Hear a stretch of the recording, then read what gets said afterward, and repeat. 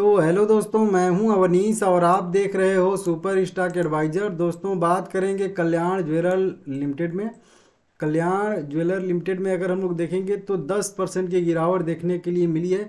Volume भी अगर हम लोग यहाँ पे देखेंगे तो बहुत बड़ा 40 मिलियन के आसपास का मतलब चार करोड़ के आसपास इक्विटी शेयर यहाँ पे ट्रेड होते हुए हम लोग को देखे हैं। अब ये जो है क्या हुआ है, कैसी न्यूज़ आई है, ये सब कुछ आप लोगों को मैं बताने वाला हूँ। हालाँकि ये न्यूज़ सुबह से ही तैर रही है मार्केट में। अगर आप लोगों को अभी तक नहीं पता होगा तो इसका मतलब आप बहुत ज़्यादा पीछे हैं।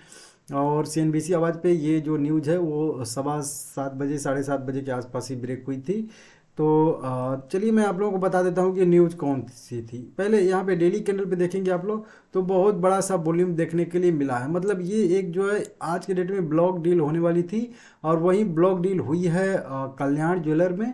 और इसी वजह से भयंकर सी गिरावट हम लोग को देखने के लिए मिली है। यहाँ पे देखेंगे आप लोग नंबर ऑफ़ लार्ज डील तो तिरालीस नंबर ऑफ़ लार्ज डील हम लोगों को यहाँ पे देखने के लिए मिल रहे हैं। और अगर इसको हम लोग इंट्राडे लार्ज डील देखेंगे तो इंट्राडे लार्ज डील में आप लोग यहाँ पे देखोगे, सवा नौ बजे दो सौ छाछठ करोड़ के शेयर जो है यहाँ पे बेचे गए हैं। जो लगभग शेयर के हिसाब से देखेंगे हम लोग तो लगभग लगभग ढाई करोड़ मतलब दो करोड़ चालीस लाख इक्विटी शेयर यहाँ पे तो ब्लॉक डील के ज़रिए से बेचे गए। अब ये जो शेयर बेचा गया है, इसको देख के और सारे लोग जो है यहाँ पे बिकवाली कर दिए हैं, क्योंकि देखिए, जब कोई बड़ा इन्वेस्टर जो है एंट्री लेता है ना तो उसके साथ भी छोटे छोटे भी कई सारे लोग जो है एंट्री ले लेते हैं, क्योंकि उनको देख के। ठीक है ना? जैसे कि आप लोग देखते हो कि एफ़ खरीद रहे हैं डी खरीद रहे हैं प्रोमोटर कौन खरीद रहा है, कौन नहीं तो उसके हिसाब से भी आप लोग। अब जब वो बंदा निकलता है तो फिर आप लोग भी निकलते हो, क्योंकि आप लोग भी खरीदारी उसी लॉजिक के हिसाब से लिए। अगर मान लेते हैं एक उदाहरण के तौर पर कि अब तो देखिए राकेश झुंझुनवाला जी नहीं है, लेकिन बहुत सारे लोग उनको फॉलो करते थे। कि मतलब राकेश झुंझुनवाला जी का जिसमें भी होल्डिंग बढ़ता था, एक परसेंट, दो परसेंट, चार परसेंट, उसमें बहुत सारे लोग जो है खरीद लेते थे।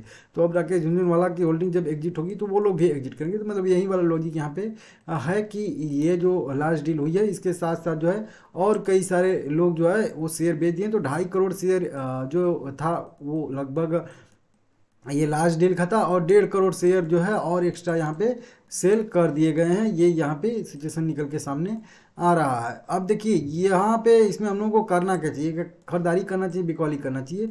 तो मैं आप लोगों को बता दूँ कि अभी इसमें हाल फ़िलहाल में मैं एनालिसिस किया था और ये फिबोनाची तभी की डो किया हूँ। और यहाँ पे मैं आप लोगों को बोला बोला था कि यहाँ पे तीन यहाँ पे हम लोगों को लेवल देखने के लिए मिल रहा है। और ये एक कंसोलिडेशन वाला जोन है। इसका यहाँ पे ये सस्टेन करेगा और उसके बाद ही किधर भी साइड का मोमेंटम करने की कोशिश करेगा।